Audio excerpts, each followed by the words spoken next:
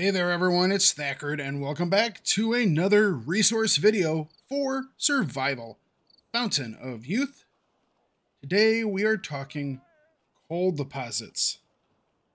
Now there are some places you can get coal by just digging out old campfires, but we're talking about places you can mine it today.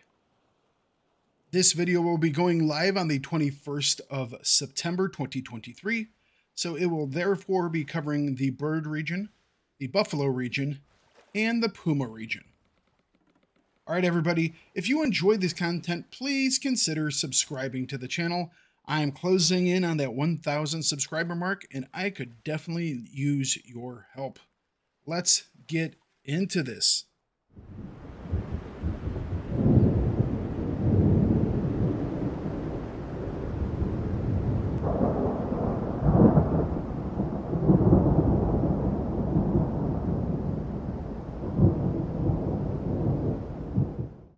As we always do, let's take a look at what you will be going after. And that is the coal mine. It's black, it's dirty, it gets everywhere. It's a coal mine. The bird region itself has no coal deposits. Therefore, we are now looking at the Buffalo region, specifically the Red Island. The Red Island has two different coal deposits on it, both located in the interior of the island, and they are located on an elevated mountainous platform. For some of them, you have to go around on little catwalks to get to them, but you can get to both of them fairly easy. The second source of coal is going to be in the Puma region, and it is a lot of coal. Five different veins that you can mine out. They are all on the southwest corner of the Iron Island.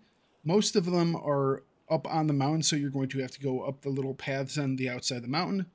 But once you get there, there are a lot of coal mines. Do be aware of the bats, though, because there are also a lot of them, too. All right, so we had another quick one this week. If you found the information helpful, please leave a thumbs up. If you have any questions or ideas for future content, also leave those down below in the comments section. I want to thank you all for watching. You all have a wonderful day. Go out there, get that coal, and remember to bring it no matter what you do.